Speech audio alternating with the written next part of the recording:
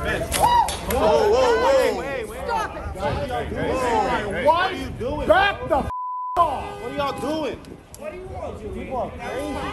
Knock it over my wife! Tom Hanks is coming to his wife Rita Wilson's defense She puts up with a lot anyway, so what, what can I do? after fans nearly trample her during their outing in New York City. That's Tom and Rita leaving a restaurant in Midtown Wednesday night. They're followed by a swarm of people as they head toward their SUV.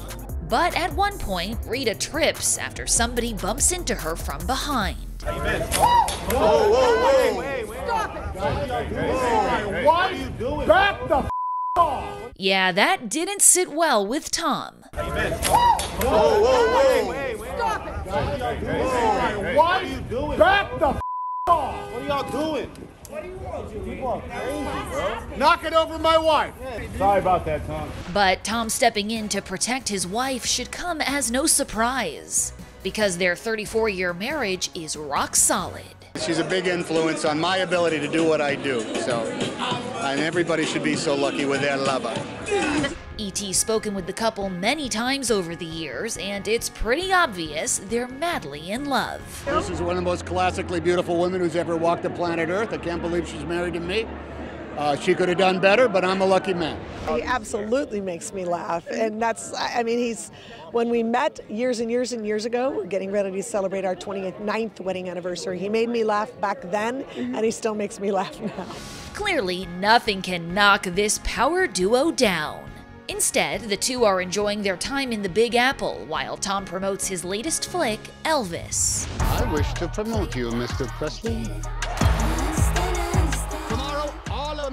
Will be talking about my war. In the biopic, Tom plays Elvis's longtime manager, Colonel Tom Parker. And when E.T. spoke with Austin Butler, who plays the rock and roll legend, he opened up about working with an Oscar winning icon like Tom.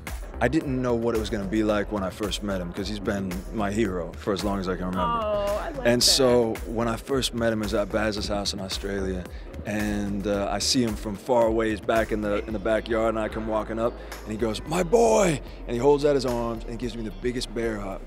That was my first interaction.